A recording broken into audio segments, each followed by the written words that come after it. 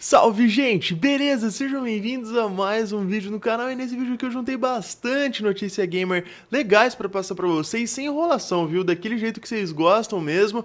Só lembrando, tá na descrição o link da loja onde eu pego meus jogos. Você também pode pegar os seus PlayStation, Xbox, fica à vontade, tá? E vamos para as notícias porque tem coisa bem legal, cara.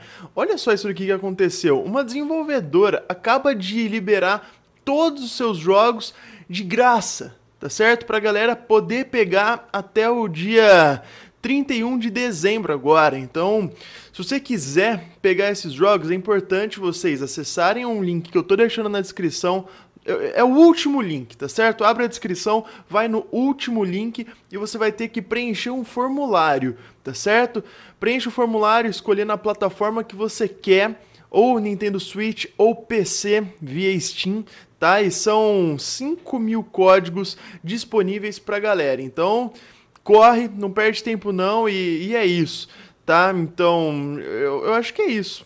Então, são quatro jogos, que é aí o Steam World Dig, Steam World Dig 2, Steam World Quest e Steam World Heist. São esses quatro jogos. Eu sinceramente não conhecia, mas eu dei uma olhadinha nas gameplays e me parece ser bem legal, viu? E justamente para espalhar a alegria pro feriado, a empresa está fazendo isso.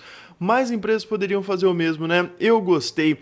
Tem mais notícias, não para por aqui não, porque a Koei Tecmo provoca o anúncio para o vigésimo aniversário da série Fatal Frame. Será que vem remasters da série? Será que vem novos jogos? Não sabemos, mas a revista Famitsu entrevistou 101 desenvolvedores em seu artigo anual para descobrir o que eles estão planejando para o próximo ano. E um dos entrevistados é um desenvolvedor da Konami aí, né? O Keisuke Kikuchi. Acho que é assim que se fala o nome dele, tá? Que é um produtor por trás da série japonesa aí de terror Fatal, Fatal Frame. E segundo ele, 2021 é um ano bem importante, vai completar 20 anos desde o lançamento de Fatal Frame e, e eles gostariam de comemorar de alguma forma. E é bom a gente ficar ligado. Então, pode ser que seja sim um novo jogo, ou um, um, remaster, ou um remake, não sabemos. É bom a gente ficar ligado, eu vou passando tudo para vocês.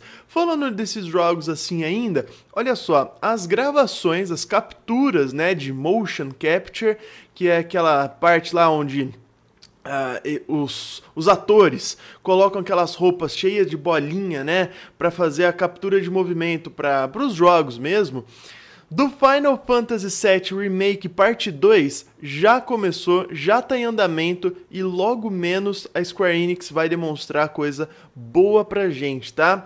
Então é isso, será a próxima obra criada aí pela Square Enix Japão, é, Final Fantasy VII Remake Parte 2 e vamos ver, né? O, o Parte 1 foi incrível, foi muito bom, trouxe muito ele aqui pro canal e mesmo assim Uh, eu, eu ainda gostaria de trazer mais.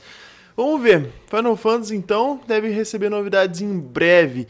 E só para finalizar mesmo o vídeo, a Nintendo vence um processo contra a empresa Karting, tá? No Supremo Tribunal do Japão, a Nintendo processa com sucesso a empresa Karting Mari. Acho que é assim que se fala, pelo uso das marcas registradas de Mario Kart. Então, é isso. A, a Nintendo se deu bem nessa uh, processou a empresa aí, uh, eu não sei em quantos, deixa eu ver, 50 milhões de iene, que é a moeda japone japonesa, que equivale aí a quase 500 mil dólares. É muita coisa, viu?